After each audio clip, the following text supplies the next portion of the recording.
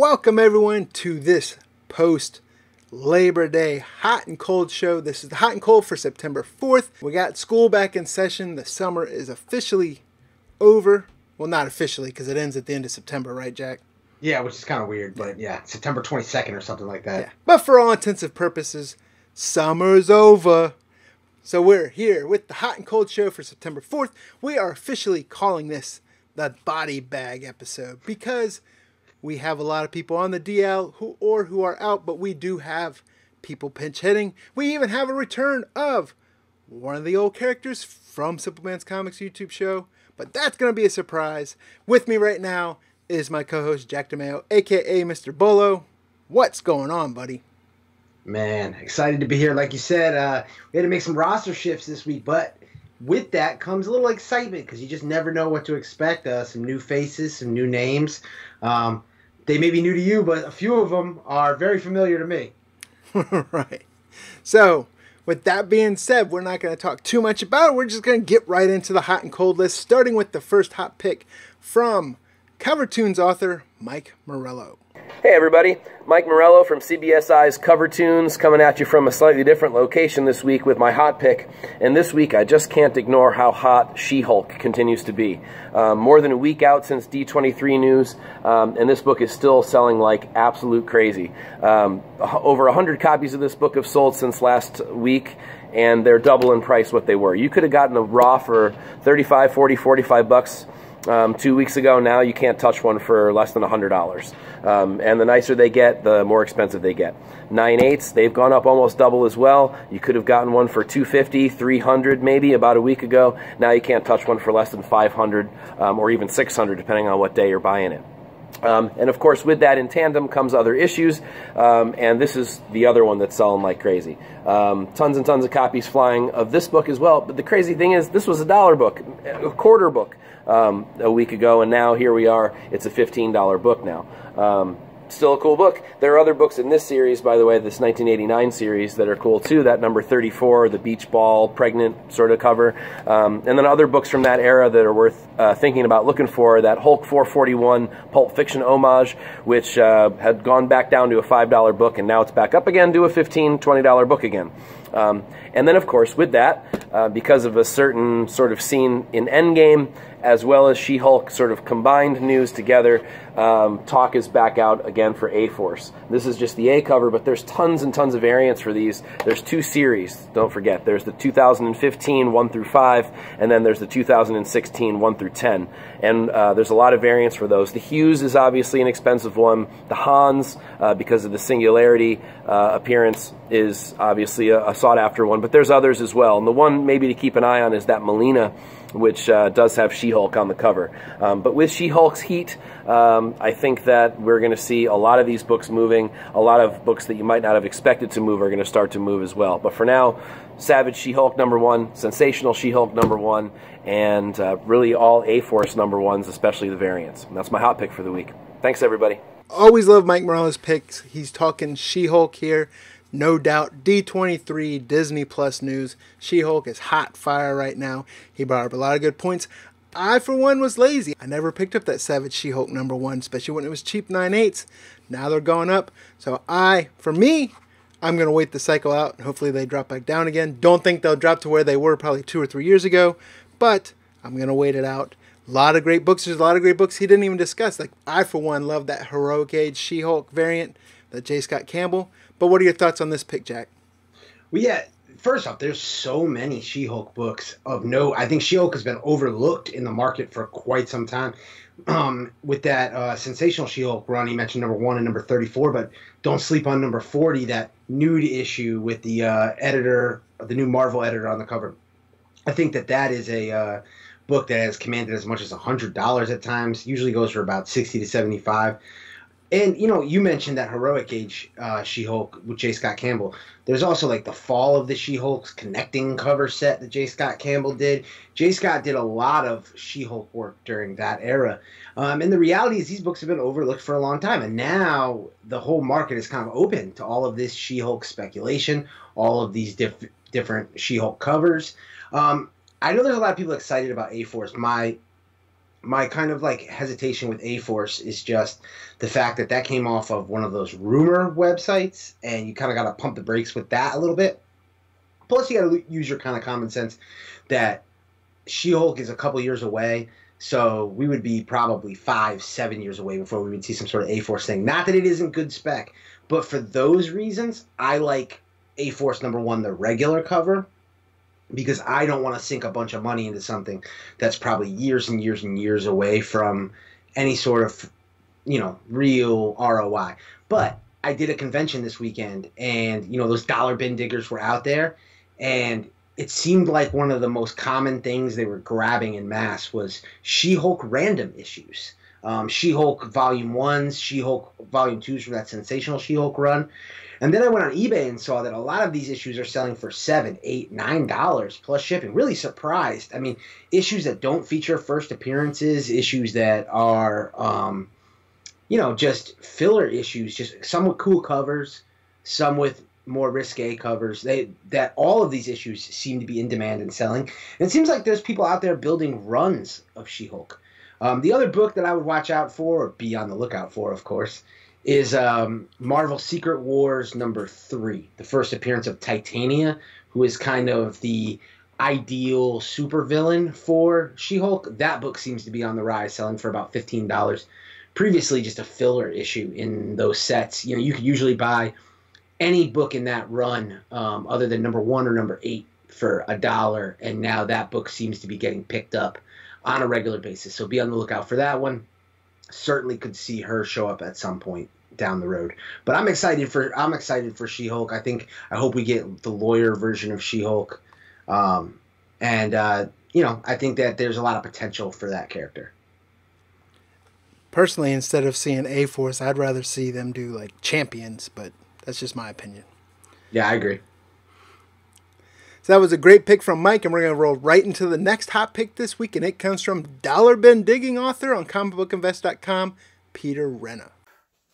What's going on, everybody? This is Peter Renna with my hot pick this week, and while I could have made this pick as my choice last week, it's still hot, so I'm going to use it this week, and that is Moon Girl and Devil Dinosaur with her uh, animated series on the way on one of the Disney services, whether it be streaming or the regular old Disney Channel. Uh, the interest is there. Uh, people are excited. Uh, that's a $340.98 now these days, where back in December it was only 85 bucks. You can get one at that uh, the same grade. Uh, that's quite a jump in just a few short months, so the uh, interest is definitely there. And it's not just the current series, number one, that's uh, showing interest, but the original Devil Dinosaur number one, which I used to own, but I sold mine a while back, and that's also $350.98 these days. So while I don't have that book, I'm just going to show you this pretty awesome Dell'Otto version of him on that Avenging Spider-Man. So, uh, the original Devil Dinosaur again, that also is showing some uh, some heat there.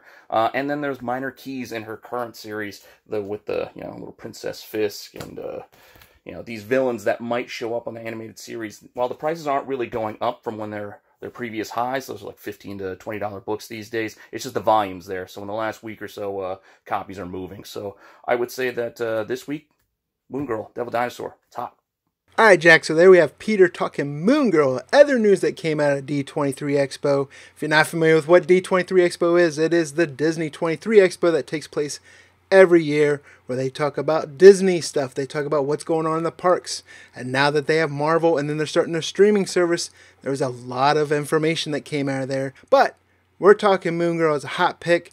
This had been hot a while before. A lot of people were speculating on it, talking about how low the print runs for it. And all I heard was the teacher from Peanuts because I have no interest in Moon Girl. It could be the next Amazing Fantasy number 15 for all I care.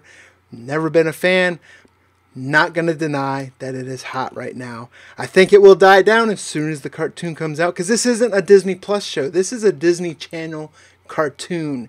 We saw this with Big Hero 6. We saw this with a bunch of other cartoons that came out. There was some spec. You saw some bump for it. But I think once that cartoon comes out, unless they have other plans for this character, it's going to dive right back down. But I digress because I don't care about the characters at all. I'm going to let you have your turn now, Jack. Yeah, this is one of those ones where I'm kind of on the fence about Brian. First off, you and I are both in the same um, kind of boat where we neither of us have been big fans of the character. Not saying that we don't like the character, but that we don't necessarily believe in the spec of the character. Um, while yes, the print runs were exceptionally low, they were exceptionally low because there weren't a lot of readers reading the series.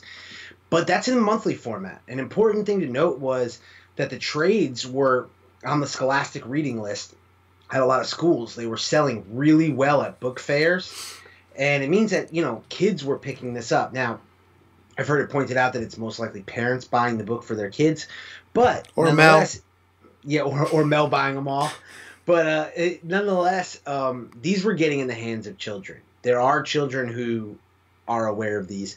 Um, and my daughter told me she read it in school which threw me off. I didn't realize that. So um, i think that that is going to be a real case study and we're not going to know until the series hits but the best point that you made of why I think that this is a tough speculation to go hard on is that it's Disney Channel. Um, now I have two daughters. I'm a big fan of everything Disney Channel does. I love the Marvel Rising stuff, but the Marvel Rising stuff hasn't really translated into any sort of real speculation. Um, you know, the show did well. There were there were Halloween costumes. My daughters wore the costumes. They own the dolls. They they're all in on it. But it still hasn't really translated into any money for us, you know, adult male speculators, which is fine. Not everything's for us. But that's where I would caution somebody who's going out maybe spending $40 on that Moon Girl number one. Now, some of the other first appearances I, I, that were at one point hot that have now fallen off, I'm a little bit more interested in because some of them can be found in dollar bins or for cover price, and they may spike to 10 to $15. And there you're talking about Princess Fisk um, Onomatopoeia, um, and both of those first appearances had like that cameo first appearance, full first confusion. So there's like two issues to keep an eye on, and another one is Girl Moon, which was issue number 19. There was a lot of speculation on that incentive variant, um, and that book shot up for a while and has now kind of come back down to earth. But a good example of how that book had gotten cold for a while, and one of our channel sponsors, Frankie's Comics, they even had a four pack set of that Moon Girl Devil Dinosaur number 19, first appearance of Girl Moon. And this set featured three trade dress black and white versions exclusive to Frankie's Comics, printed to only 3,000, and one virgin copy with that purple moon.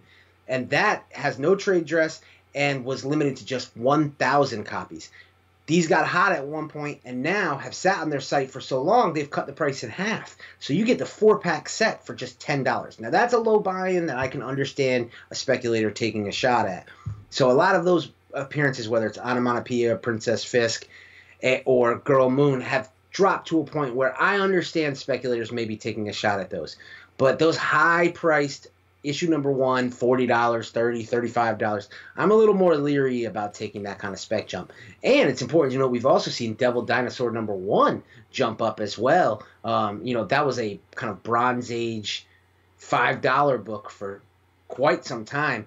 And now that book is in qu- quite a bit of demand. So I think there's a lot of people on this series but I wonder if there's the speculation isn't based on the fact that the news came out during D23 and people are kind of lumping it in with say She-Hulk and Miss Marvel and everything else that's coming out. And it's really important to note that it's really a whole different thing being that it's it's a Disney Channel property. Right, and I think a large part of it is, is people were specking waiting for an announcement to come, and then a Disney Channel announcement comes, and everyone's like, "Ha ha!" And now it's a gold mine for them, or right. it isn't.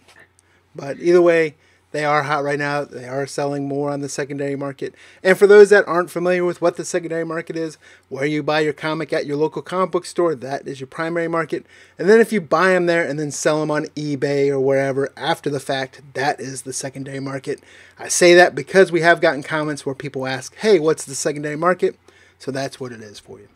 Yeah, and I think if I was speculating on Moon Girl and Devil Dinosaur, which full transparency was never something Brian and I were big on, but if I was speculating on it over these years and sitting on a stash of those books, now would be the time I'd be looking to sell because those prices are right. I'd be happy with the ROI on that sale. Yeah. And now I'd be cashing out now and not risking will this Disney Channel show take off. And again, even if it takes off, if it takes off with kids, that doesn't necessarily mean that it's going to do anything for secondary market value of comics. So, a great pick from Peter. We're going to roll right into the next hot pick this week, and it comes from true first author Topher S., The Masked speculator.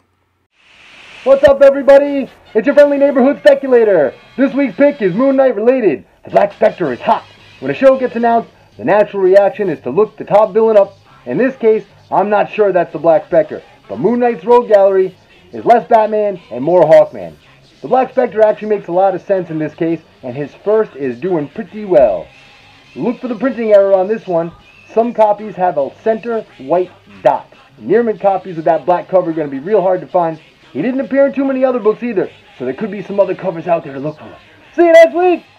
So there we have Topher, the innovative mask speculator with the bag mask this week. Actually, this was when he was on vacation and didn't have masks, so he did go creative. And speaking of creative, he was talking about the Black Spectre. Now, there's three different versions of these that we are aware of in the Marvel Universe, right? There's also the fictional organization that's from the Daredevil comics, but there's two different Black Spectres from Moon Knight comics himself one being Carson Knowles, and then there's a newer, updated one, which is Ryan Trent, right, Jack? What do you think about this pick? Right, and this is the tough thing about speculation is I can see a lot of people going and grabbing that Daredevil 108 because they type in Black Spectre into their Google search. That's what comes up, and they may run with that. Um, you know, a more experienced, maybe Moon Knight reader would look at that Moon Knight 25, a book that's been iconic and popular for a long time, not just because of Black Spectre, but just the cover in itself, that Bill Sienkiewicz cover. Um, tough black cover, hard to find, in great shape. And I think that's the one that will draw most speculators' attention. But one to be on the lookout for is that that third one, that Ryan Trent um, as as Black Spectre. And this is where speculation gets tough and really truly becomes speculation. You end up guessing a bit. But um, he first appears as a detective in Moon Knight number one from the volume seven, the popular Warren Ellis run. This was once a fifteen to twenty dollar book, is now six seven dollars. I think has a lot of value, and a lot of people that I've talked to have speculated that this could be the series that the Disney Plus series is based upon, that Warren Ellis run, and if so, that would be the book to t- keep an eye on. Now he also appears in number six, an issue titled Spectre, where he takes over the mantle of Black Spectre and he does it in an aim to take over from Moon Knight. So this could be the type of thing where um, everyone goes in one direction, loading up on those Moon Knight 25s, and it ends up being those Warren Ellis issues that are key, and it's really tough. But I would be on the lookout for all of those issues um, if you're looking in back issue bins, and any undervalued Black Spectre issues, I would go ahead and grab. Yeah, minus the Daredevil ones. Yeah, minus the Daredevil ones. Which we were looking at it, and like the costumes almost look similar, which was kind of crazy, right? Right. There's no way that they didn't draw some yeah. sort of inspiration for that uh, Moon Knight 25 Black Spectre costume from that Daredevil 108 group. Yep. So thanks, Topher, for that pick, and we're going to go into the next hot pick this week. And it comes from Simple Man's Comics YouTube channel, and we are talking about Rooster River. Are we live? Are we, are we live? I'm telling you, we're live. Why don't you tell me? What's up, guys? I am back. Rooster River here. Rooster! I've been asked to give a hot pick, and I am here to do so. And I tell you what, you want to know what's hot right now? Hotter than a fried bologna sandwich? I'm talking about none other than Donny Cates. That guy is freaking hot. Everything he writes right now turns to gold. Look at it. Write it down. Look at Guardians of the Galaxy. Yeah, you know what? You're like, oh, that's not doing nothing right now. I'll tell you what, though. You look at them signed copies. I'm talking about raw signed copies are selling for like $20. No one likes signed copies unless it's Donny Cates. They picking them up. What's normally selling for cover is selling for $20 right now. Look it up. $20. That's more than I spend at Keno down at the Piggly Wiggly on Tuesday nights. And you know what else is hot? Venom, especially number one, number two, number three. The whole run right now, number three is hot. Number seven, number nine with that character Bob Dylan, whatever his name is. Check it out. I'm telling you. Prove me wrong. What else is hot? Silver Surfer Black, especially them second prints. Number one. Pick them up. Telling you. Donny Cates is hot. Back in 2011, 2015, everything with Scott Snyder and Batman and Wytches and Wake and all these other. Not no more. We are all about Donny Cates. It is hot. Mark it down, stamp it, Put it in the J.C. Penney Christmas catalog because it is hot and it's here to stay. Rooster River out. Rooster! So there we have it. Rooster River. A lot of people asking when was Rooster going to return to the channel. So we got him back as a guest pick for the hot pick, and he's talking Donny Cates. I couldn't agree with him more myself because we all know Donny Cates is hot. Venom's hot. Guardians of the Galaxy. Silver Surfer Black. He made us care about Inhumans for a short time. But what do you think about this, Jack? Oh, I love the pick. I mean, Donny Cates is the king of the A list. He is the number one writer in comics right now. There's just no doubt. He seems to have an understanding of the secondary market when in actuality he really doesn't. He doesn't pay attention to the secondary market. He's just truly a comic fan and he loves to pull from old issues and and change the lore of these characters that we love and kind of give us different angles on it. And it's it's really resonated with comic book fans. So all of those runs that Rooster was talking about there, and it figures that a guy like Rooster River brings up a Texan like Donny Cates. But you know, it just they they're all hot. And yeah, Guardians of the Galaxy may not be like the hottest thing going, but I've often said that that's a sleeper series. I think it's only getting overlooked because of Venom. And we're one Guardians of the Galaxy event away from that series becoming just red hot. Um, you've all I actually you like said- Guardians better than I'd like the Silver Surfer Black series. I do too. I do too as well. Um, I've enjoyed reading Guardians, and I think a lot of people anticipated that Death of Rocket Raccoon maybe being that that story arc, and it just hasn't quite gone that way. But it's still something to keep keep an eye out for, be on the lookout for. But yeah, I mean, she's talking Silver Surfer Black. Venom is red hot. He's killing Venom, and then Absolute Carnage. I mean, look what he's doing with Absolute Carnage, and now already the solicitation for Venom Island and the idea that Venom Island is the next arc sent Amazing Spider-Man 347 through the roof. That's the first appearance of Venom Island. Also, be on the lookout for Darkhawk 13 and 14. Those are the two other appearances of Venom Island that are that are still kind of being overlooked in the market. But yeah, I mean, I don't think there's another writer hotter than Donny Cates, and even his properties that aren't as hot right now, some of those indie properties like Baby Teeth and God Country. He's writing the God Country movie for Legendary Pictures and I I could totally see Baby Teeth getting adapted. And I just think he's been so busy with his Marvel work that he hasn't. He has only so much time in the day for a guy like that. So that's something to, to keep an eye out for. And look at the guy; he even did the Midtown exclusive variant cover for Absolute Carnage. So now the guy's drawing covers. So I won't mean, say it's the best, but he's doing it. no. A for I effort. I won't say it's the best, but I give him credit for doing it. So the bottom line is the guy is everywhere. He's everywhere and he's doing everything. And the And bottom he- line is, people bought that cover.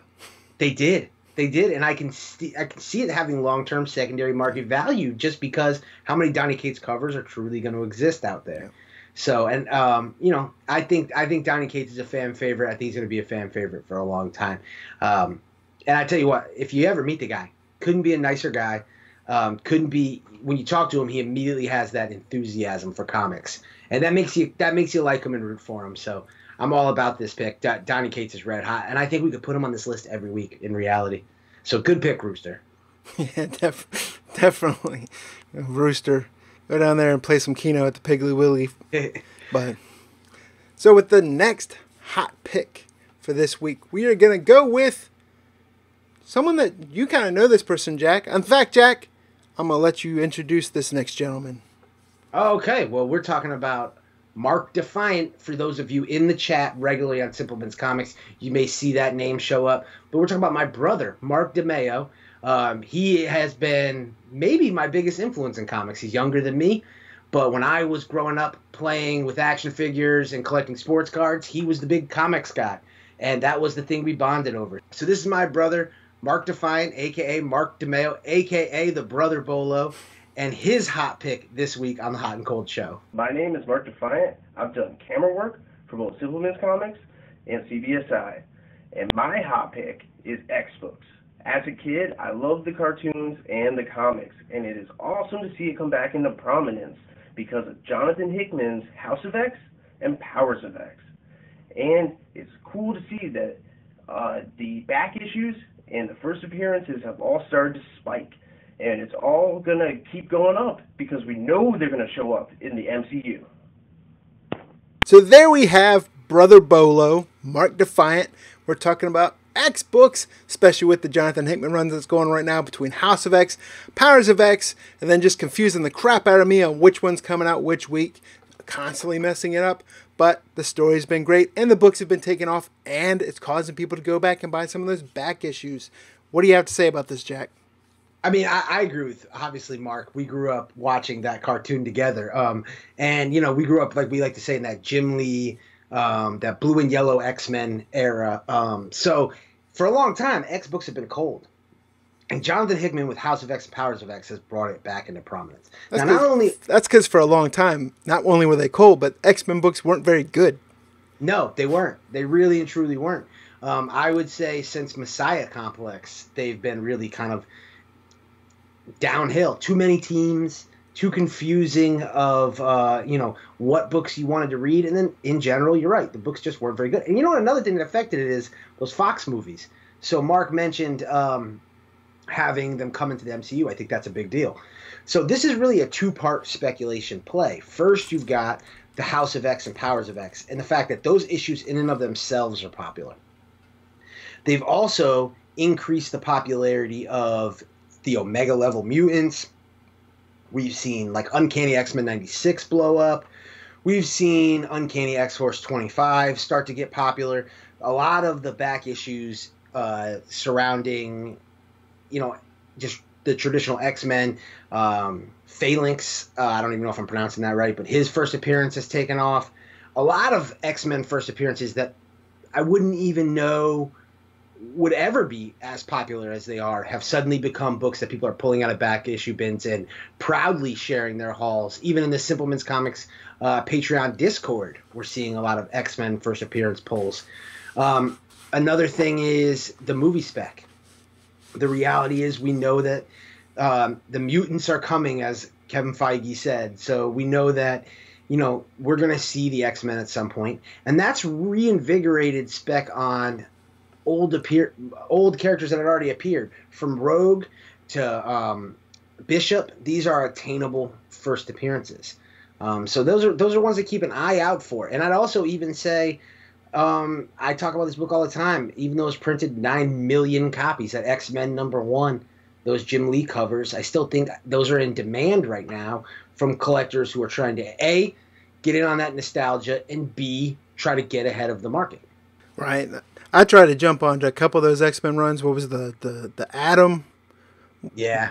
Then that Brian each, Michael Bendis story. Right. And each time I found myself found myself wanting, but I did like the Uncanny X Force back yes. in 2011. That was one of my favorite runs, and um, I was sad to see that one end. But the books are hot right now, and we've talked about it. I've never been a huge X Men fan, but I have been enjoying House and Powers of X. Great. I think especially for myself and for others that aren't X Men fans, it is actually a great jumping on point. So I think that's why I enjoy it more also. Yeah, and I, have said this a few times when we've discussed those books, whether here, the Bolo show, or um, other shows on the channel when, you know, shows where we had the Hot 10 on the channel. Um, you know, the interesting thing is going to be what do they do beyond House and Powers of X? As popular as those series have been, once they spin off into individual teams, will it continue the heat? That's what I'm interested to see. So thanks for that hot pick from Brother Bolo. And we're going to roll right into the next hot pick, which comes from Brian McClay, who is also on the CBSI Presents Tales from the Flipside podcast, as well as the brand new Hot 10 video that is on the Tales from the Flipside YouTube channel as well. What's up, everyone? Brian McClay from CBSI Presents Tales from the Flipside, here to give my pick for this week's Hot and Cold show. I'm going to do a hot pick for this week, and I think it's pretty obvious that mine is Snake Eyes. This here is the version 3 figure from the 3 and 3 fourths G.I. Joe line back in the early 90s. Now, of course, I'm too big of a G.I. Joe nerd to bust out my version 1 or version 2 figures. Those have to stay in pristine mint condition. With the new movie being announced, everybody should keep their eyes open for anything Snake Eyes. There's a lot of books out there that you should pick up, this being one of them. If you ever see this book in the wild, this is the G.I. Joe Special Number 1 Todd McFarlane homage cover. Absolutely gorgeous, one of my favorite all-time books. I pick it up every time I see it in the wild. It's very hard to find. Short printed book. I want to say this was the very last book that they printed, even after their final issue. So that's why it's so tough to find. Absolutely gorgeous cover. Very hard to find in high grade. Also be on the lookout for the Frankie's Comic exclusive G.I. Joe number 1 by Clayton Crain. I'm absolutely in love with this cover. Clayton Crain, can't say enough. but he decided to put a Rattler on it. That's my favorite all-time G.I. Joe vehicle, one of the very first G.I. Joe vehicles I ever got. So I will be picking up that book. Big shout out to Jack and Brian for letting me do the show this week. Thank you very much. Be sure to check out CBSI Presents Tales from the Flip Side every Monday at 9.30 p.m. Eastern and our new show, Flipside Presents CBSI Hot 10, little switcheroo there, every Friday night. So as any self-respecting G.I. Joe fan would say, now you know, knowing's half the battle. Yuck. So they have Brian McClay from the CBSI Presents Tales from the Flipside YouTube channel. I'm not going to take up too much time on this because I know this really hits home with Jack, huge G.I. Joe fanboy, but we love Snake Eyes. We've talked about Snake Eyes a lot on this channel lately, especially with the current G.I. Joe run that's going on. That whole Snake Hunt story arc, really, we both really enjoy that. We've talked about it on the Bolo show, but what do you think about this pick, Jack? Well, of course, I love it.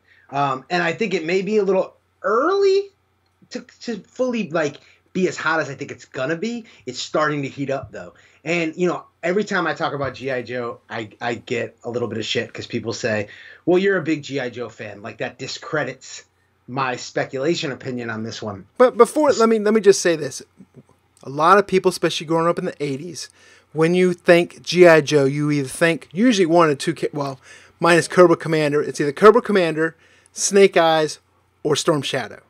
Absolutely. I mean, those are the three characters you think of most prominently, unless you just have some weird fetish with like Baroness or some other thing. But those are the main characters that people think of when they think GI Joe. Yeah, the reality is Baroness didn't really become popular until some of the more modern variant covers, like the Adam Hughes cover, that really brought Baroness into prominence. And the that reality, Artgerm cover. Yeah, the reality is, um, it was growing up. It was Snake Eyes was the king, and it was the battle between Snake Eyes and Storm Shadow um, that really dominated. And you know, we've seen since the Snake Eyes movie's been announced, and Brian's pick referenced Snake Eyes, but also that the the heat has spilled over into Storm Shadow. We're seeing that GI Joe 21 silent issue spike back up again. Um, Snake Eyes first appears in GI Joe Volume One, Number One. Now that's always been an in-demand key issue. It's the first appearance of the GI Joe. Don't let anyone tell you that those older like DC Comics appearances, um, GI Joe was a generalized term. The Kenner toys that we, you will see in these Hasbro movies, they are the first appearing in that Marvel series from 1982 that GI Joe won. That's what you want, and um, with number one always being popular and kind of always being a high price, the book that everyone would always overlook is GI Joe 26 and 27, and that's the origin story of of uh, of Snake Eyes and Storm Shadow, and those are starting to really pop. The last couple sales have hit like 25 to 35 dollars on on those individual issues and the sets um, a little bit more and they were regularly trading just a couple weeks ago for like five dollars each so i expect to see that happen more and more I've covered first appearances of GI Joes. The average speculator can't even tell you like what the first appearance of Destro is, or what the first appearance of major GI Joes like Flint or um, or uh, Duke. And these are characters who are just absolutely integral to the GI Joe story. And because of that, a lot of these books have sit under the radar. Now, we're talking Snake Eyes, and we talked like we said number one, number 26, and number 27. Um, that GI Joe special that that Todd McFarlane that uh, uh, Brian showed there, incredible. Also, um, there's a few other key covers. 63, the So Much Fun issue. Um, those are incredibly popular. There's a lot of great covers up in the hundreds that are really lower printed. But the biggest thing that I would keep an eye out for is those IDW incentives there are a lot of times they're really tough to even find pricing information on because so few of them hit the market specifically like the snake eyes solo story. Um, you're tempted to look at issue number one but issue number one a lot of times in a lot of these idw series are higher ordered. Um, but there is just several several snake eyes cover uh, variants that are incredibly difficult to find. Gi joe number seven which features like the the american flag background has sold extremely well there's a um, Real American Hero, one of the older series, is Virgin cover with Snake Eyes, where he's spiking the uh, sword into the ground, into the Cobra logo. That one has done well in the past. Um, there's uh, just so many numerous ones. Uh, GI Joe 18 is another one. But you know what? The truth is, if you at all believe in the ability of these to do well in the secondary market, you got to do your research because it's it's difficult to start look, getting into these and looking them up because so few have hit the market. And that's the point that I've tried to make with GI Joe speculation. Is yeah, I'm a big fan, but there's a lot of people like me. And what do people like me do? We buy these books and we keep them in our collection. The same way Brian has a nice Masters of the Universe collection, and it would be one of the toughest things for him to let go of everything he owns, other than maybe some of his Disney books. I'm the same way with my G.I. Joe stuff. Not to say that I wouldn't sell it, but you got to give me the right price for it. And that ends up setting the market. So that's why you end up seeing prices that the average consumer feels like is ridiculous. And, and kind of evidence of that is the um, Purple Rain Prince homage, which you see with uh, Snake Eyes on the motorcycle that book has sold for what, Brian? Like five hundred dollars in the past. Yeah. You know, so um, it's just it's you know it's it's a kind of a perfect storm of Snake Eyes cover, low print, plus an homage that resonates with people outside of the traditional buying community. Um, so there's there's tons of books like that, and um, Snake Eyes is the most, like Brian said, the most prominent GI Joe character. He's featured on many many of the covers, um, but those covers are always the most popular. And I think that the window to start buying some of these books is going to dwindle faster than I think buyers are really ready for because just the talk that this is happening. We're already seeing casting, we already have a director attached. Um, I think this is moving along faster than people are really ready for. And it's only one of two G.I. Joe movies we're getting. We're getting a Snake Eye solo movie, and then we're getting a G.I. Joe team movie. And both of these are already in pre production or production and you know that they're going to end up crossing over and weaving into each other. So uh, the time is now if you're going to jump on GI Joe. And what does the publishing side, like Brian mentioned, have going on right now? IDW's got a 10 issue story arc surrounding Snake Eyes. And the original Snake Eyes, the one that we're going to see in this movie, is already dead in the comics. And we've got two more Snake Eyes. Throwdown Kamakura, aka Sean Collins, is Snake Eyes, who first appears as Snake Eyes in issue 215. And we've got Dawn Moreno, the first female Snake Eyes, who first appeared in the comics in, I believe, issue 226, and then became uh, Snake Eyes in 243. Um, kind of like fully assumed the mantle at like 244 and it was featured heavily on covers for 245 and 246 where the, the variants do extremely well and that story arc went all the way through 250 and now we're seeing with snake hunt them come back into prominence. Look for that cover A, which already sold out. It's sold out of Midtown. Amazing cover with uh, Cobra rolling the Snake Eyes dice with the two Snake Eyes faces. Um, I, I'm really bullish on this story. It may have moved kind of slow with the first issue, but I think it's only going to get better. And he mentioned the Frankie's Comics variant. IDW is doing a new G.I. Joe series, not part of Real American Hero, a separate series just called G.I. Joe, which they've done from time to time. And it is so cool to see a, a cover artist like Clayton mm-hmm. Doing a GI Joe book. To see like you know, it's been a while since we've had like the Art Germs or the the um, Adam Hughes, those top end uh, variant cover artists working on a GI Joe book. So I'm excited to see that. Shout out to Frankie's Comics for making that happen. But another cool thing about that book is there's supposed to be a lot of first appearances in that book. They're they're coming out with some new Joes for that series. So that's something I'd keep an eye out for because there's no telling. Some of those new Joes could be the ones that end up in the movies.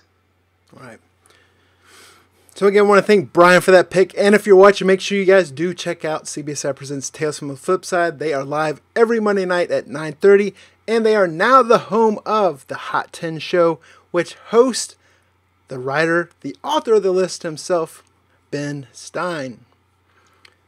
And with that being said, we're going to roll into the last of the hot picks this week. And this is a very special person, so I'm going to let Jack introduce this. This is my favorite pinch hitter we have ever had. My daughter, Brianna Bolo, with her hot pick. Brianna Bolo. We got BB. Little BB. My name is Brianna Bolo, and my hot pick is female superheroes. There are a lot of girls like me reading the books and watching the movies. It is cool to see female superheroes kicking butt in the TV shows, movies, and comics. For example, Miss Marvel, Girl Thor, Jennika the Turtle, and Captain Marvel, and Harley Quinn. First thing I want to say is you need to save that so that she can watch it when she's older and she's getting into, you know, and people are like, oh no, you just started getting into comics. You can be like, oh no, been there, done that, and use this for schoolwork because there's going to be a project where you can use this at some point.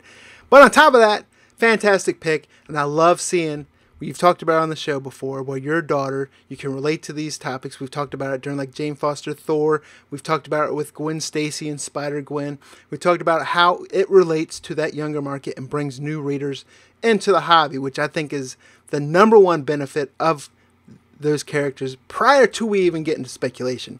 Anytime we can bring more people into the hobby is fantastic. I think this is a great pick. But jack I, i'm gonna let you talk about it well, yeah, I almost get choked up watching that. The poor girl was so nervous filming that segment. She was so excited when I asked her, and I said, "Hey, you want to be on the Hot and Cold show this week?" But uh, yeah, she was so nervous filming that, and uh, great job, Brianna. I appreciate it. And you you may notice she's wearing a Flash T-shirt. My daughter is a certified comic fan. She loves some books that I know, like your kids have gotten into, like Captain Underpants and Dogman, and some of those, some of those kinds of um, comic properties. Um, but she's also she loves any kind of superheroes, and they don't have to be female. But she really gets a sense of pride from watching some of these female superheroes. She when she was younger, she was so excited to be Thor for Halloween. I've talked about that. She's big into Jennika Turtle right now. She's very because she grew up a Teenage Mutant Ninja Turtles fan since birth. So getting to see uh, a female Ninja Turtle gets her excited. And I think that that gets lost on a lot of the, the male speculators, guys of our age, where we get all upset when, you know, Marvel, DC, IDW, anybody really, when they do these things to try to be more inclusive to the female reader. If you're at comic book conventions, you will notice that female comic book buyers, female comic book readers are increasing. It's just reality. There's more and more of them. And, you know, while they love the male superheroes, it is important that everybody sees themselves in the superheroes. And that's why I love Spider Gwen. Um, you know, because, you know, Spider Man has often has that line in, into the Spider Verse that anybody can wear the mask. And I love that my daughter is getting to grow up in an era where once the Disney Plus, you know, channel that we have been talking about now for several weeks hits, she's going to be able to see She Hulk, Miss Marvel, um, she's going to be able to watch Moon Girl and Devil Dinosaur on Disney Plus. She's getting to see Jennika Turtle play out in the pages of Teenage Mutant Ninja Turtles. Um, she got to see a version of Thor in the comics, and now she's going to get to see that make the transition into a movie. Um, so I get to watch those things through her eyes, and it has really changed my perspective. And I'm not judging anybody who has been kind of against those things, but if if I didn't have two daughters who love that stuff, I may have been in that same boat. And watching their excitement over those properties has always made me realize that there is that community out there that is going to love those things, and that makes them good speculation plays because that's why we're here, right? And the reality is. I'm more apt to buy those books because of my daughter. So it's not, you may say, well, yeah, Brianna's not out there buying those 40 and $50 Jane Foster Thor number ones, no doubt. But I'm buying it to put in her short box for her collection so as she gets older, she's got those copies. And that is where the value is, is the fact that there's a lot of dads out there raising daughters. Um, there's a lot of people out there who can resonate with these stories. And like even she mentioned Harley Quinn, we saw the Birds of Prey trailer leaked out within the last week. Now I don't think that's a movie I'm going to let my daughter see. I'll, I'll tell you that right now but she is a big Harley Quinn fan, and you know, it just seems like we're going to see more and more female superheroes showing up. I think over the next few years. So you don't have to like it, but I think we all kind of got to get used to it. Right, and that's going to wrap up the hot list for the week, which I can think of no better way to do so than with BB. the youngest ever, the youngest ever yes. entry on the hot and cold show. But we're gonna roll right into the cold list, going back to Cover Tunes author Mike Morello. Hey everybody, Mike Morello from CBSI's Cover Tunes here again with my cold pick this week. And this week's cold pick is really more of a tepid pick. It's more of a buying opportunity, um, and really it's because of the surrounding sort of chatter about Marvel monsters. We're not really sure of all the details. Um, we don't really have any characters to focus on just yet, um, which leaves sort of a wide open door. We've heard uh, some rumblings about a few things. People are speculating on man things, so obviously Savage Tales number one is important. Um, people are speculating about maybe a tie-in between that whole Son of Satan, possibly Mephisto, those sorts of things. So those those books are obviously key. There's a lot of under the radar stuff that people might not be paying attention to right now. There's the obvious choice like this one, which is still a relatively inexpensive book, Legion of Monsters, uh, Marvel Premiere number 28. Um, but there are some other really um, under the radar ones. Um, obviously, Tomb of Dracula is an interesting one. Tomb of Dracula number one, everyone's focused on number 10 right now because of Blade. You might be able to find yourself a nice number one, which is a really cool way to get that. Um, there's also some other really cheap ones right now Giant Size Chillers, which is first Lilith. A lot of people think this character is going to pop up in something. Um, there's the Giant Size Creatures, number one, which not only has a Werewolf by Night appearance, but of course the first Tigra, which ties into yet another possible show for Marvel. Um, and that's still really, really cheap, really cheap buy right now. But that's really not what I'm focused on. What I'm focused on mostly is some of that really sort of hard to find Silver Age monster stuff that came before the superhero books, like uh, the pre Spider Man Amazing Adult Fantasy issues, like number 13 and number 14, which all have monster appearances in them, and in a lot of cases, prototypes of our up and coming superheroes. Um, you got other titles like Tales of Suspense, like this one. This is the first prototype of Doctor Doom but a really cool monster book. And then there's this one too, which is uh, first Colossus, but obviously he looks like Thing, so you've got that one too. And then there's some others as well. You've got Strange Tales and other Tales of Suspense. There's a lot of those issues that can really be found fairly inexpensively, um, $100 or less. And um, right now, I think is when to get them because if any of these characters pop, these books are going to become nuclear because they're really rare. Um, so keep your eyes out for these Silver Age books. Obviously, the Bronze Age ones too. There's some really cheap ones to be had there, but those Silver Age ones, if you can find those, those are cold at the moment, and they will be insane if any of those characters get announced. So that's my cold pick for the week, but it is also a buying opportunity. So head out and try to find those. Thanks, everybody. Have a great week. Thanks a lot. Bye. Talking about monster books, but I was totally distracted because I love Mike's picks. And oops, he did it again because he's got a damn Britney Spears t-shirt on. During the hot picks, we were talking about it going, is that a Britney Spears shirt? But that is definitely a Britney Spears shirt. And I digress. Marvel Monster Books, cold, good buying opportunity. He brought out a lot of old classic ones that are definitely worth picking up, especially if you can find them cheap.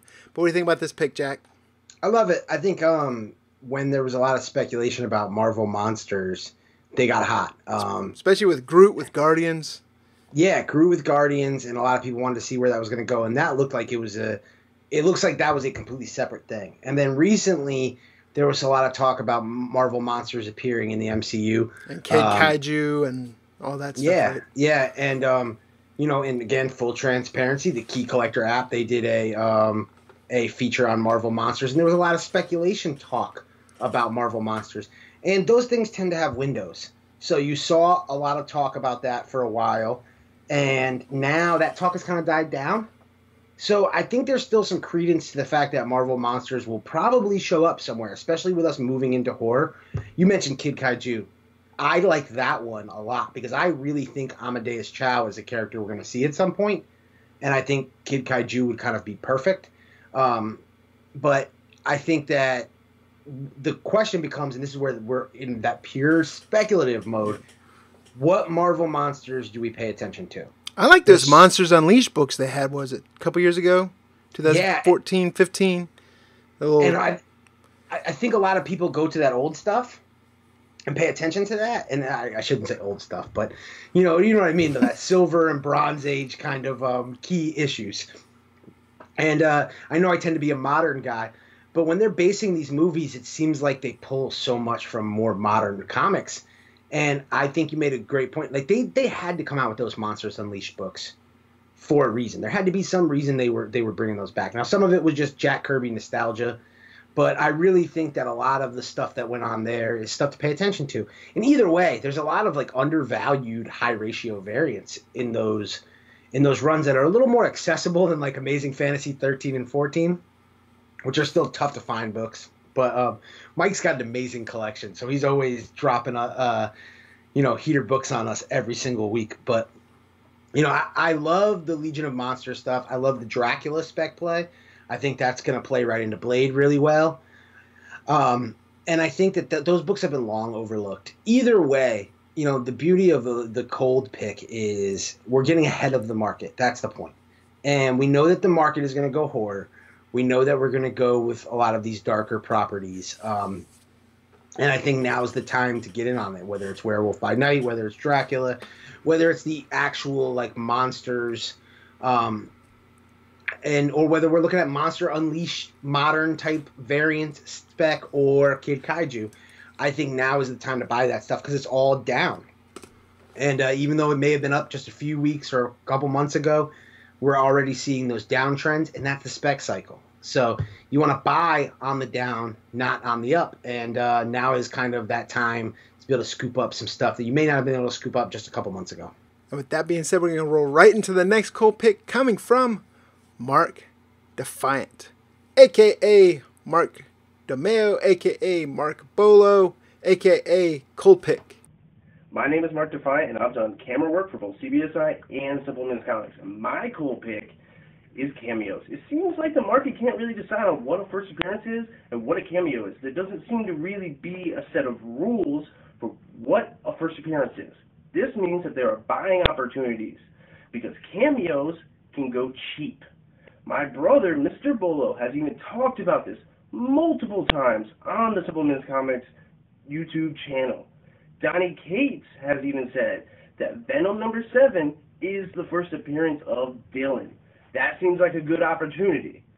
So my cool pick is cameos. So there we go, Mark Defiant, fantastic cold pick. We're talking about cameos, and we've had this, we've we've discussed this on this channel before, especially with the first appearance is a first appearance. We think once the once the character first appears, that's the first appearance. And he brought up the point that Donny Cates just on Twitter this past couple days said, "I don't understand the confusion."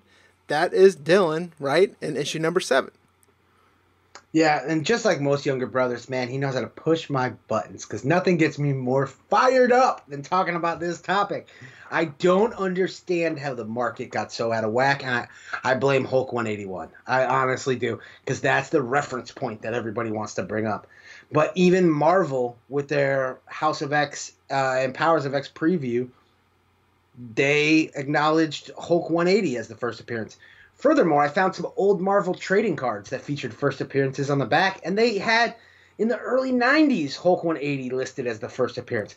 So it's just us dumb comic book collectors and speculators who have been running off with the wrong information.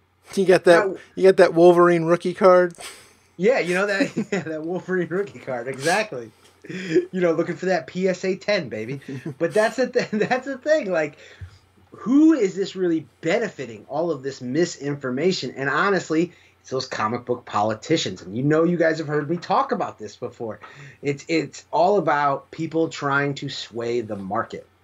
So, look, if we're talking Dylan Brock, something so a character that I've heavily spec on, I've talked about. I own a good stack of both 7 and 9 and I know to protect myself cuz I know this game and I know that people are going to play that game, so I bought both. But the reality is, I'll never understand why someone makes a decision. Well, seven, there's not enough. I, what is the rule? In my opinion, if a character shows up, it's a first appearance. But we've got all these fake rules about, well, you got to be able to speak. Well, this character only shows up at one panel. Well, apparently the last page doesn't count now, ever, because if it shows up in the last page, people automatically discredit it. Um, and comic book companies are aware of this, so they play these games where they have a character show up unsolicited on the last page, and they know that you're going to grab it, but then you're also going to say, well, no, that's not the first appearance. We got to get the next issue. Star with Captain Marvel being the most recent one that comes to mind. But the reality of the situation is the term first appearance should mean exactly like Brian said, what it says. The first appearance. The first time I appeared on this channel was my first appearance.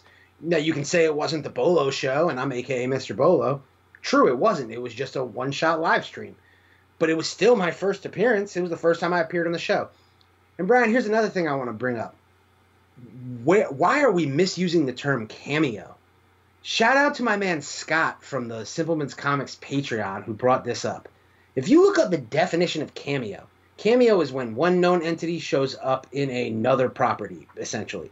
So, to give an example of what a cameo is, They would have already had to first appeared. they would have already exactly had to first appear because they have to be a known entity. So a real cameo is when we talked about on the pre FOC show, the last call, right here on the Simpleman's Comics YouTube channel, which comes out every Friday now at 9 p.m. We talked about Amazing Spider-Man 30 last week, and we said, well, the spec on that is it's a it's a tie-in to Absolute Carnage. Carnage is showing up in that book. Dylan Brock is showing up in that book. Well, if you want to know what Dylan Brock's real cameo appearance is, he cameo appears in Absolute Carnage and in Amazing Spider-Man 30 because those are not his titles. Those are not the series he comes from. He comes from Venom, and he's showing up in those. Carnage shows up in Amazing Spider-Man. He's cameoing in Amazing Spider-Man. That's the definition of cameo. We have completely changed the definition to fit our narrative in the speculation community. And I lump myself into the speculation community. I'm part of it. We're all part of it. Brian, you're part of it. But it's one of those things where we as whether you want to call us influencers or YouTubers or content creators, we all get to have our opinion. This is our platform. So this is me and Brian's opinion. And we're at a point where we're saying no mas. You know, there's just we can't do this anymore. It's confusing to new collectors who come in and we're kind of educating them the wrong way and then every, it seems like every character has multiple first appearances. Every character has a for a first appearance and a full first. And it takes Savage She-Hulk where a character's in the guts, on the title, and on the cover before no one argues it. And it shouldn't be that much. That's not what it should be. So if you ask me, if you ask AKA Mr. Bolo, I there's so many books where I, and I say shout out to Mark for pointing this out, where I feel like the cameos are undervalued. What if one day there is a course correction, Brian? What if one day the market shifts and says, well, we're not going to go with this anymore? Avengers 195 would be the first appearance of Taskmaster. Uncanny X Men uh, Annual 14 would be the first appearance of Gambit. Um, I'm sorry, but Amazing Spider Man 299 is the first appearance of Venom. Um, you know, all of these things would suddenly change. And I don't think that we're going to be able to see that type of a course correction. But I think we should. And either way, I think that those appearances are all undervalued um, because a character truly first appears in those issues. And it's certainly not a cameo because no one knew who those characters are. Therefore, by definition, it cannot be a cameo. That is just a term we made up to fit this narrative. And now, when I say we, I don't mean me. I didn't make that term up. It long existed before I was in comics. I don't mean my partner in spec over there, Brian, aka Simpleman's Comics.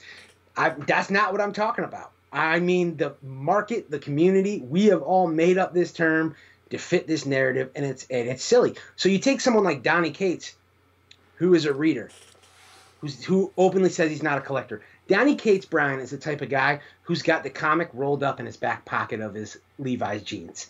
That's the kind of guy Donny Cates is. Doesn't mean he doesn't love comics. He's just he fits that segment. And when openly asked on Twitter, "Hey, seven or nine, what's the first appearance?" He wasn't being sarcastic. He wasn't being an asshole. He was just honestly answering that question. And to him, it was a silly question. So of course it's issue seven. That's the first time he appeared, right?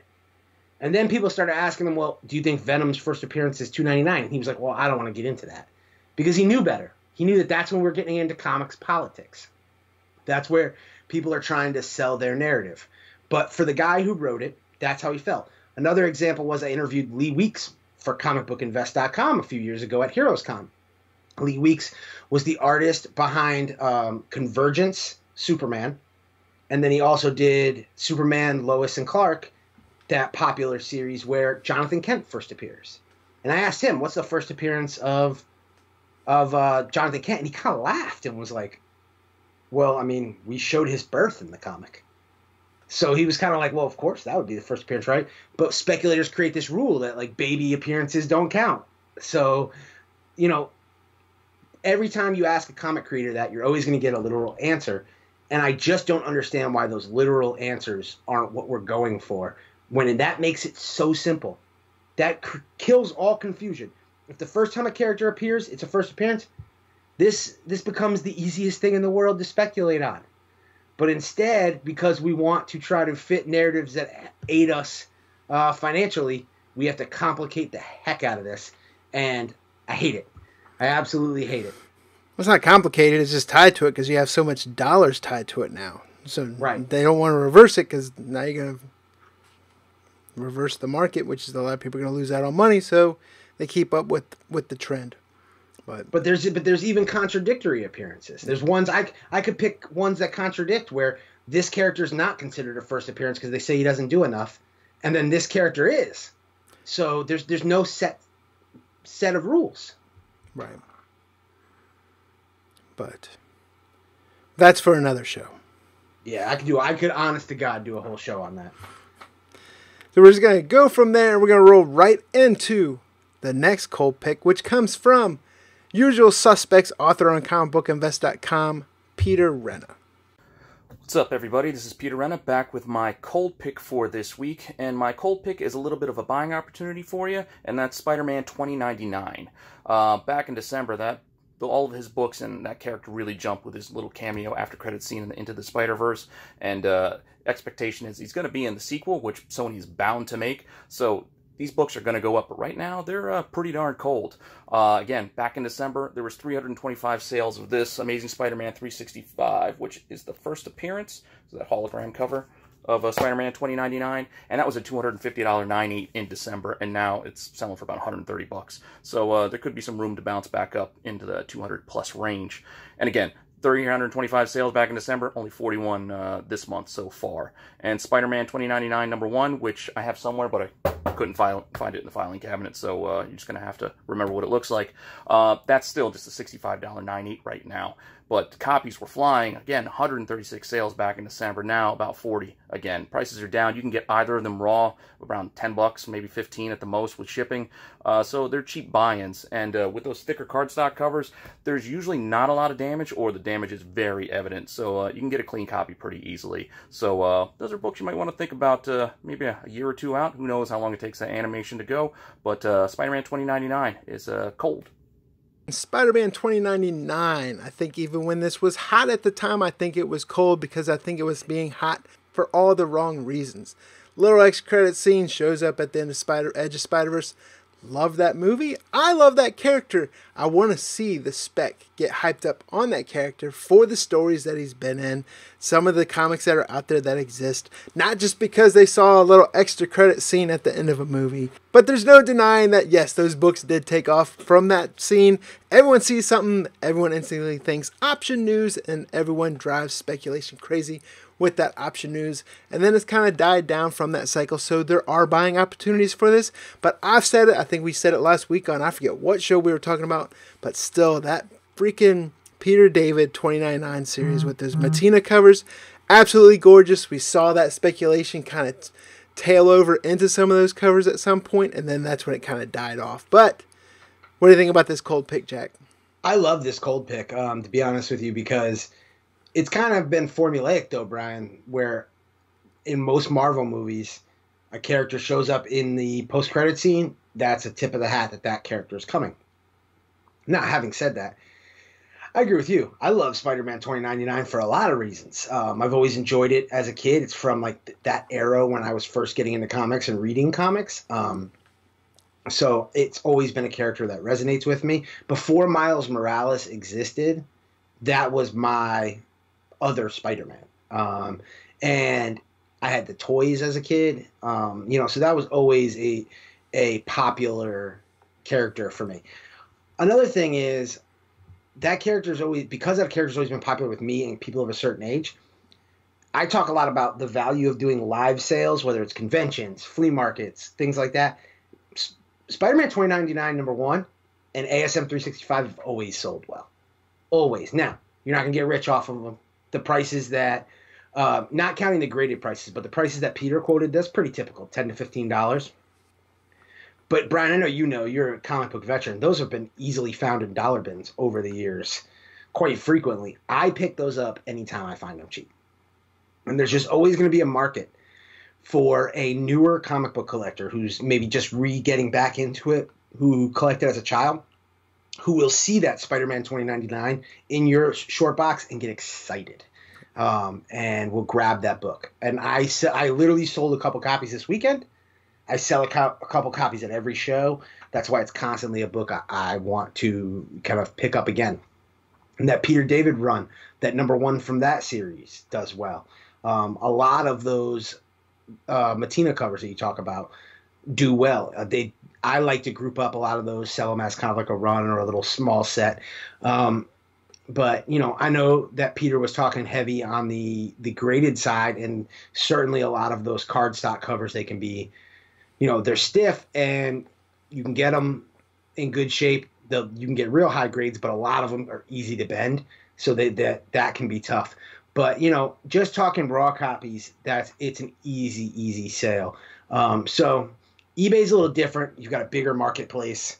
It's a little tougher. Um, there's a lot of books on there that people want, and that may not be the most in-demand book. But I agree with him that I think that Spider-Man 2099 is going to show up in the next Spider-Verse movie, and you do want to get ahead of the market. But I would say all Spider-Verse spec you could put on the cold list because I would say, could say the same about like Spider-Ham, who we saw directly in, in the first movie. Um, I don't think uh, you know uh, Spider-Man Noir is selling well uh, at this point either, um, but or Penny Parker. But anyways, I, I think that Spider-Man 2099 is a good one. And another thing to, to bring up, Brian, I don't even remember if he mentioned it. Um, 2099 is coming back as a se- event series later in the year. Yep. So there could be some rejuvenated interest in 2099 characters in general here's some real speculative thing to look out for is if they do go heavy with Spider-Man 2099 in the next Into the Spider-Verse movie, could we see the 2099 version of Venom as a main villain?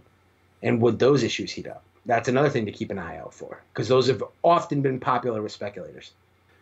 So great pick from Peter, and we're going to get into the last pick, the last Cole pick, the last pick for this week's list, and it comes from the mass speculator, Topher S.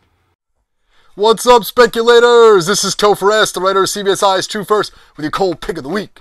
Canto, Canto, Canto. This book slide highlights a sad fact about the wild, wild west that is modern flipping. Look, I like the book. The art's okay and the story's pretty good. But like so many before it, I'm talking about you, Todd, the ugliest kid on earth. An initial FOMO cannot be sustained, especially in this market. If you didn't buy it cheap, your money was better spent elsewhere. For minis like this, I see nowhere to go but down, and the dark, dank basement awaits once that final issue drops. Without an option, Canto will not survive. I know I'll be buying it though in 12 months. See you next week! Say goodbye, Stella. Topher S talking about Canto, one that you and I are favorites of. We love this book. We we love the book from a reader point of view. We love the book from a speculation point of view. He does make up some points that is kind of cooled off. I think the buzz for it's kind of cooled off, but as you were talking before, and I'll let you support that point, is we did see that there are some still active sales going on. What do you think about this, Jack?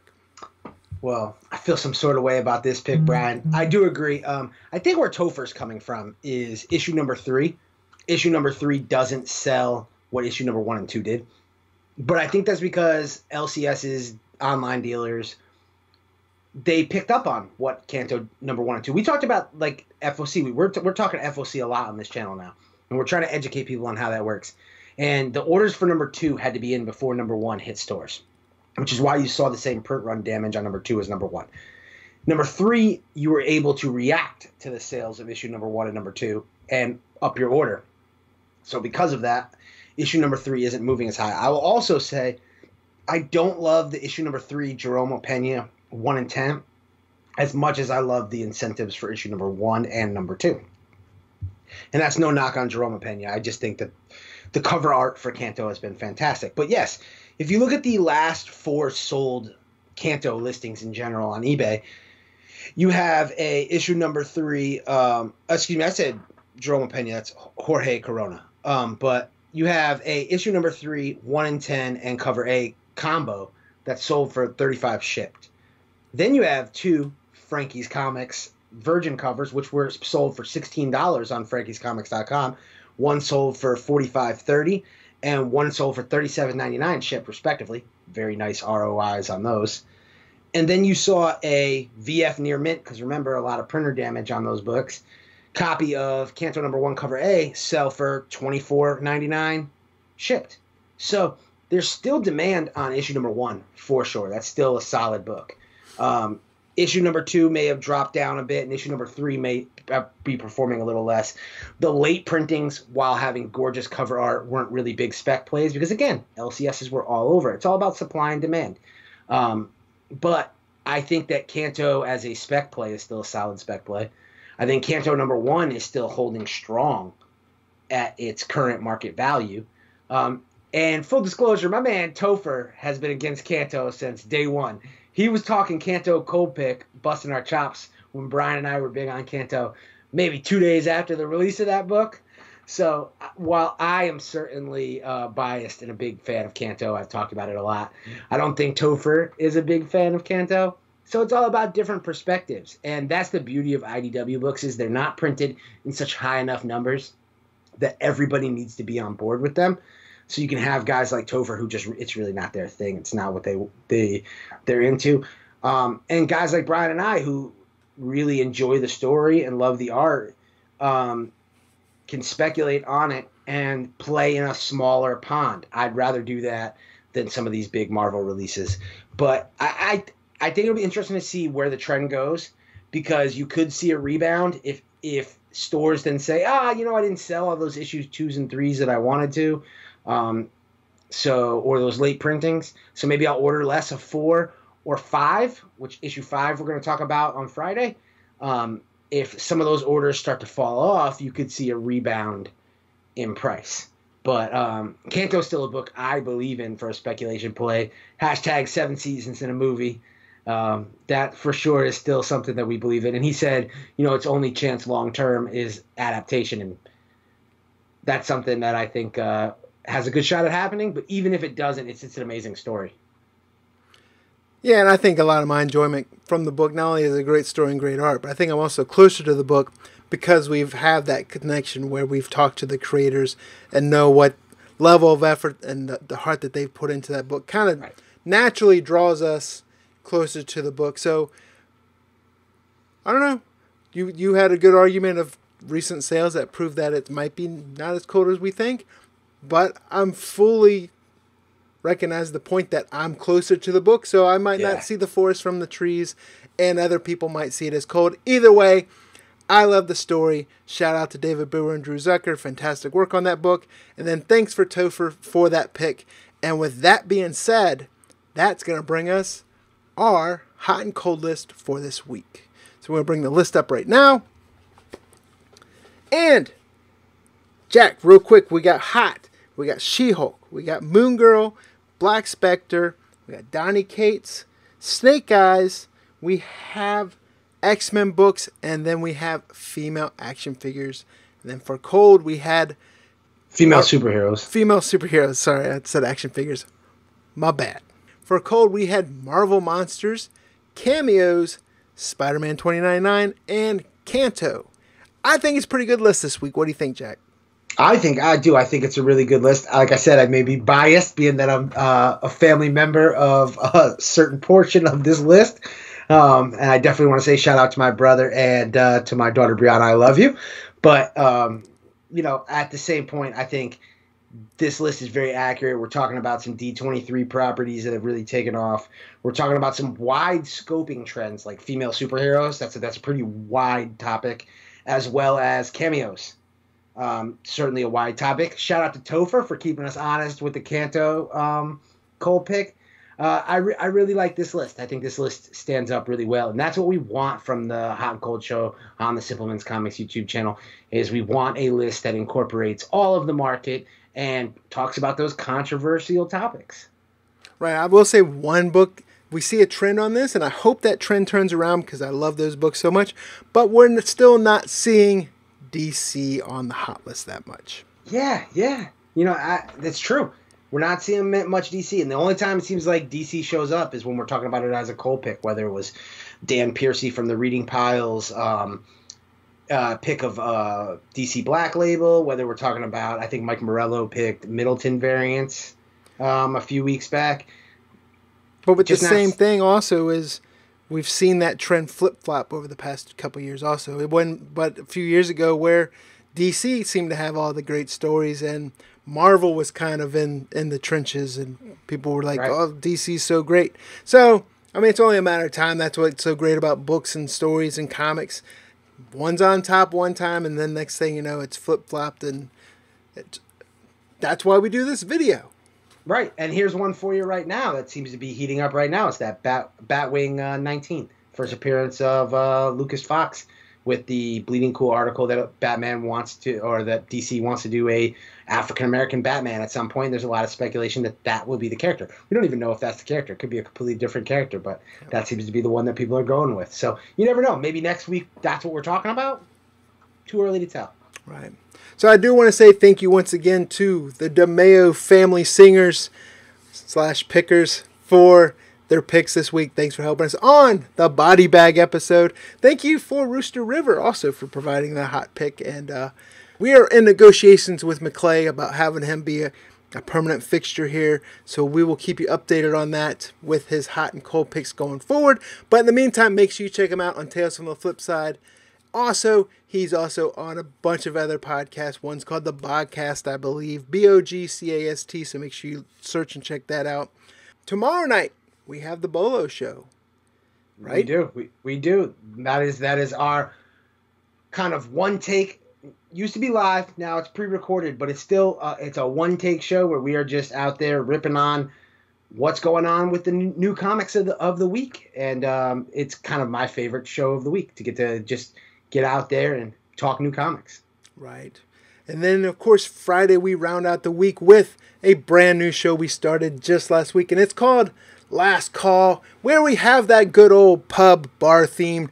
So pull up a stool, grab yourself a drink, and we are going to be talking about pre FOC books that are going to hit final order cutoff the following Monday. So this Friday, we'll we be talking about books that will hit final order cutoff the come the Monday after this weekend. So make sure you tune into that because it is controversial. People Oh, think yeah. we are all of a sudden upping print runs so drastically and manipulating the market, and all we're doing is presenting books that you should be able to get before the uh, cutoff, right, Jack? Yeah, yeah. And I said, you know, I said that the um the Bolo show is my favorite show of the week, but I tell you what, I could see Last Call jumping that because I'm excited. I was excited to do it last week. I'm even more excited to come back.